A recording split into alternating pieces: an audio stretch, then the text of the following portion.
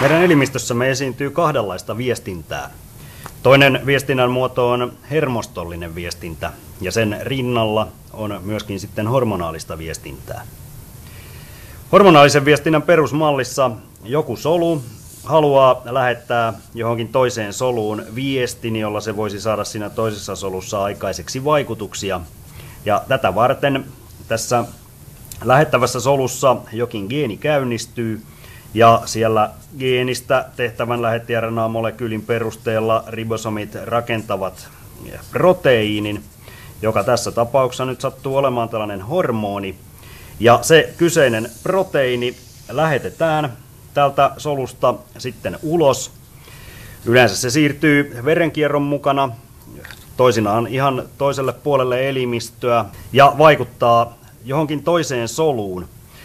Tämä vaikutus tapahtuu reseptorin välityksellä. Siellä kohdesolun pinnalla on jälleen tällainen proteiinirakenteinen reseptori, johon tämä hormoni sopii niin kuin avainlukkoon.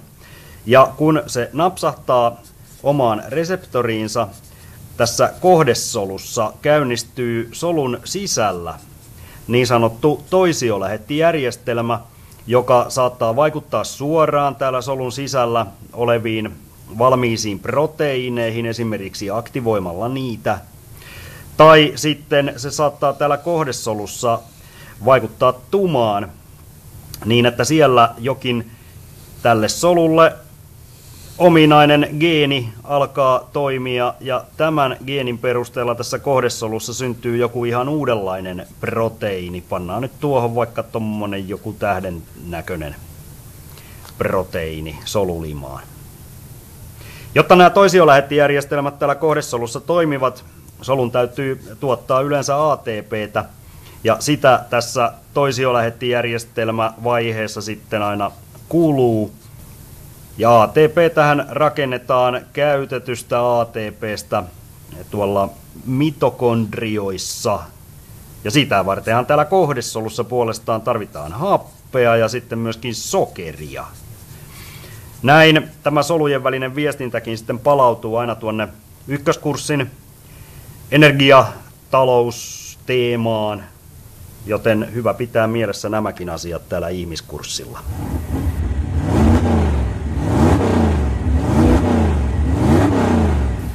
Perinteisesti hormoneiksi on luettu nimenomaan umpirauhasten tuottamat viestiaineet. Ja näitä umpirauhasia meissä on aivolisäke, kilpirauhanen, lisäkilpirauhaset, lisämunuainen, haima ja sukupuolirauhaset. Umpirauhaset erittävät tuotteensa vereen. Ja tämä tuo esille piirteen, joka erottaa umpirauhaset elimistömme toisesta rauhasporukasta, nimittäin avorauhasista, jotka puolestaan myöskin tuottavat aineita, mutta ne erittävät tuotteensa tyhjään avoimeen tilaan, joka tyypillisesti on ruoansulatuskanava tai iho. Perinteisesti hormonit on nimenomaan rajattu noiden umpirauhasten tuottamiksi viestiaineiksi, niin tosiasiassa tätä hormonaalista viestintää tapahtuu meidän elimistössä kaiken aikaa kaikkien meidän solujemme välillä ihan tuommoisilla hyvin lyhyilläkin matkoilla niin, että naapurisolut viestivät toinen toisilleen aivan samaan tapaan tällaisilla viestiaineilla kuin mitä nyt sitten nuo umpirauhastenkin tuottamat viestiaineet ovat. Hormonaalinen viestintä on siis täysin tällainen arkinen ja jatkuva tapahtuma kaikkien meidän solujemme kesken.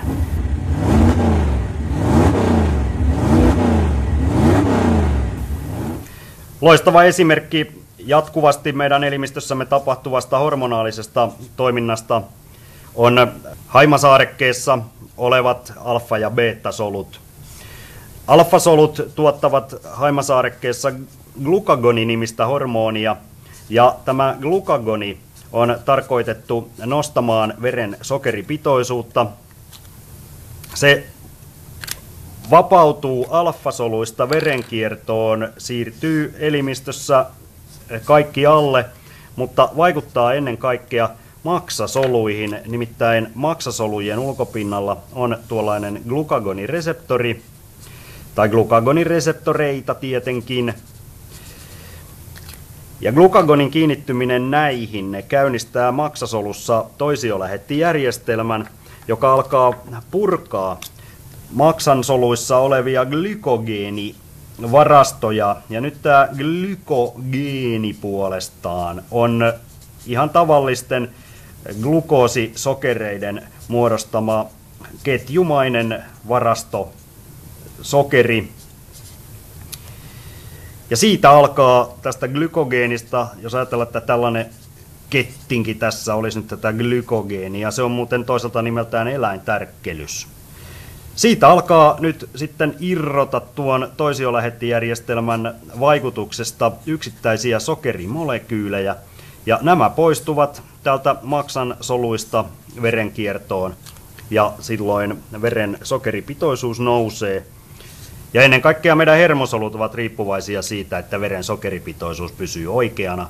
Ne eivät nimittäin itse pysty varastoimaan sokeria, vaan elävät kaiken aikaa kädestä suuhun. Haimasaarekkeissa on myöskin beta-soluja, ja niiden tehtävänä on puolestaan tuottaa insuliinia. Insuliini on glukagonin vastavaikuttaja. Toisin sanoen, kun insuliini kiinnittyy omien kohdesolujensa ulkopinnalla oleviin reseptoreihin, käynnistyy kohdesolussa sellainen toisiojärjestelmä, että täällä veressä vapaina liikkuvat sokerimolekyylit pääsevät siirtymään tänne kohdesolujen sisälle. Ja siellä kohdesolun sisällä sokeria voidaan varastoida äsken mainittuna eläintärkkelyksenä eli glykogeenina, mutta sen lisäksi sokeria tietysti tarvitaan solussa jatkuvasti ATP-tuotantoon ja ATP tähän tuottavat soluissa mitokondriot, jos vain paikalla on riittävästi happea ja toisaalta sitten juuri näitä sokereita. ATP, sehän on ikään kuin proteiinien bensaa, eli tätä ilman useimmat meidän proteiinimme eivät pystyisi lainkaan toimimaan. Kun insuliini kerran vaikuttaa niin, että sokeri siirtyy solujen sisälle, sitä erittyy ennen kaikkea ruokailun jälkeen. Ja senkin tehtävänä osaltaan on huolehtia siitä, että veren sokeripitoisuus ei nouse liian korkeaksi. Sokeritaudissa insuliinia joko ei eritetä tarpeeksi tai se jostakin syystä ei vaikuta tuolla kohdesoluissaan. Ja tällöin veren sokeripitoisuus nousee liikaa. Munuaiset tässä tilanteessa yrittävät saada veren sokeripitoisuuden laskemaan erittämällä ylimääräisen sokerin virtsaan. Ja niinpä sokeritauti usein sitten voidaan todeta juuri virtsan sokeripitoisuutta mittaamalla.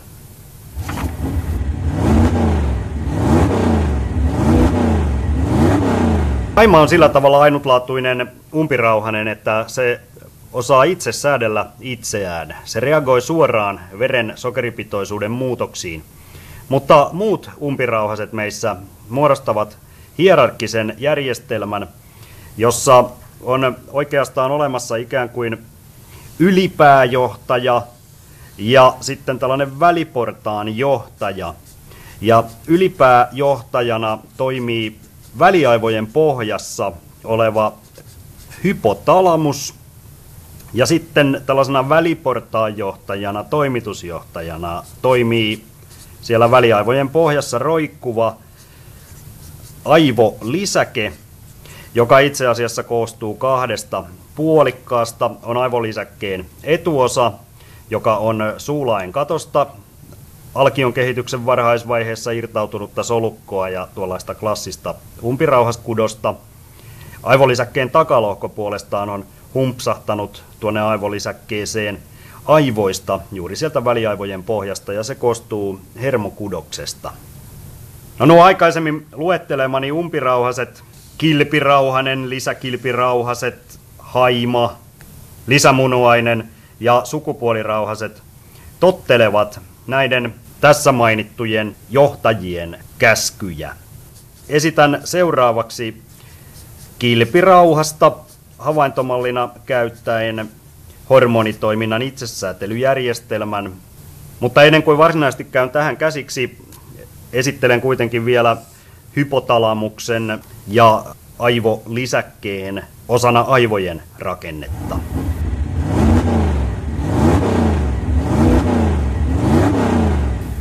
Aivot syntyvät hermostoputken kuroutumina alkion kehityksen varhaisvaiheessa.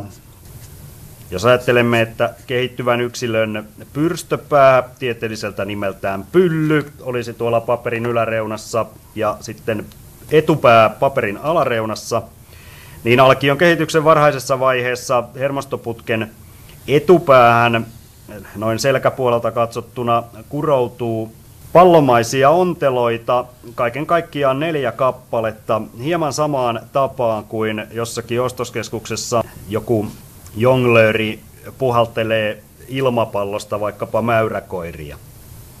Ja nämä ovat aivokammioita. Ykkös- ja kakkosaivokkammiosta tulee isot aivot. Kolmos aivokammio puolestaan tuottaa väliaivot, ja neljäs aivokammio tuottaa pikkuaivot.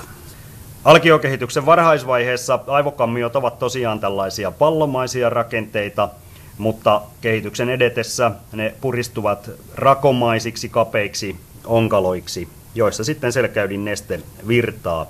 Toisin sanoen selkäydin kanava jatkuu selkärangan sisällä aina tuonne pyrstöön saakka kuljettaen tätä aivokammioihin erittyvää selkäydin nestettä. Kun tuo kerran oli näkymä päältä, niin sivukuvassa ykkös- ja kakkosaivokammio olisivat tuolla. Kolmas aivokammio tulisi niiden taakse. Sen takana on lyhyt putkimainen aivoviemäriksi kutsuttu osa, jonka taakse sitten kehittyy pikkuaivot neljännen aivokammion ympärille. Kolmannen aivokammion sivuseiniä kutsutaan talamukseksi.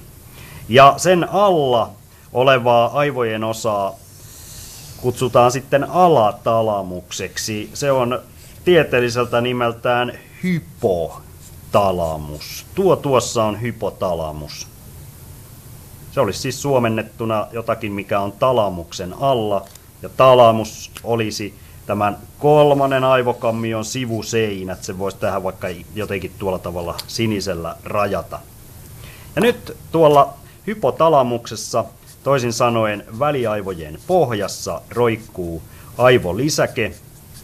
Sitä varten kallon pohjassa on oma pieni luinen kupponenkin. Se on nimeltänsä Turkin satula, Sella turkika.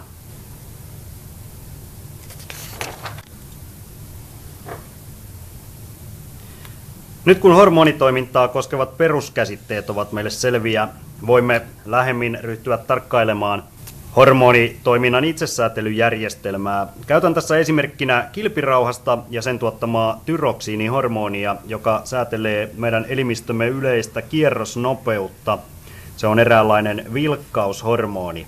Ja ajatellaanpa, että lähtötilanteessa kilpirauhanen tuottaisi liian vähän tätä tyroksiinia.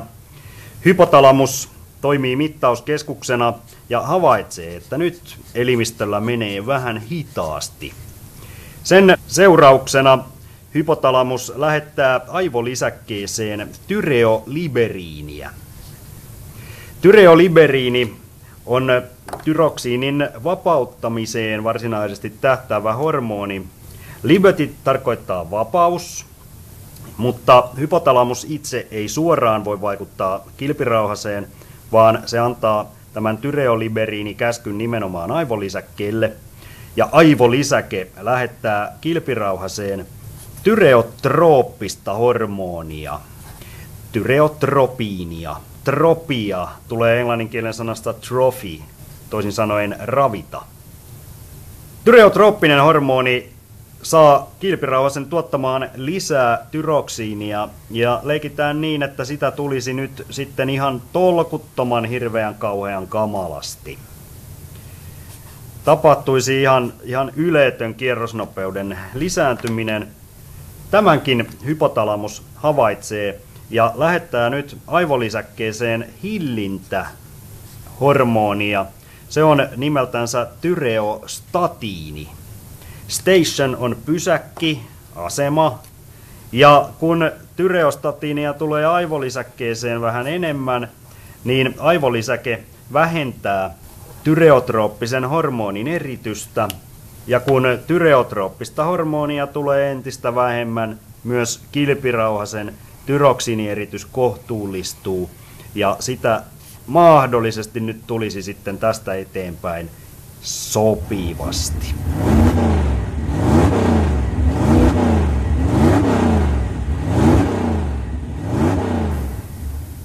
Tällaista pysyvää tasapainotilaa elimistön hormonierityksessä ei milloinkaan muodostu, vaan tämä on jatkuvaa tällaista takaisin kytkentää itsesäätelyjärjestelmää. Hypotalamus mittaa ja lähettää näitä statiini- ja liberiinikäskyjä aivolisäkkeeseen, joka sitten tropiinihormonien avulla käskyttää kilpirauhasta.